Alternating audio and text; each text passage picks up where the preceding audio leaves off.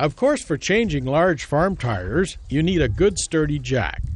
Webster and the rest of the folks at Vale Solutions didn't believe commercially available jacks were capable of meeting their needs, so they designed a high clearance sprayer jack.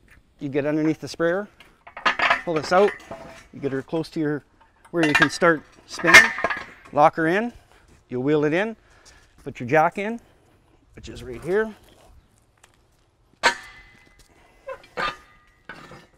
To the next closest hole, and you can start jacking.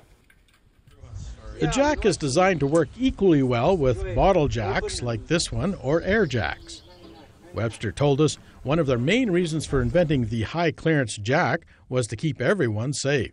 It's designed to lift the sprayer up safely, uh, soundly instead of using blocks like most guys do, stack them up, put their bottle jack on, uh, makes it a little tippy. You gotta work pretty fast to get the tire on so it doesn't fall on you.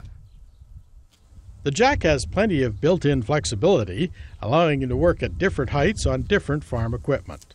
We have adjustments with pin. This is where your jack sits, you, starting out here to here. Get your holes, it's locks. Depending on the height of your sprayer to start with, this slides up and down. It's got all sides of adjustments. The high clearance sprayer jack weighs about 200 pounds, so just about anyone can move it around the farmyard as needed.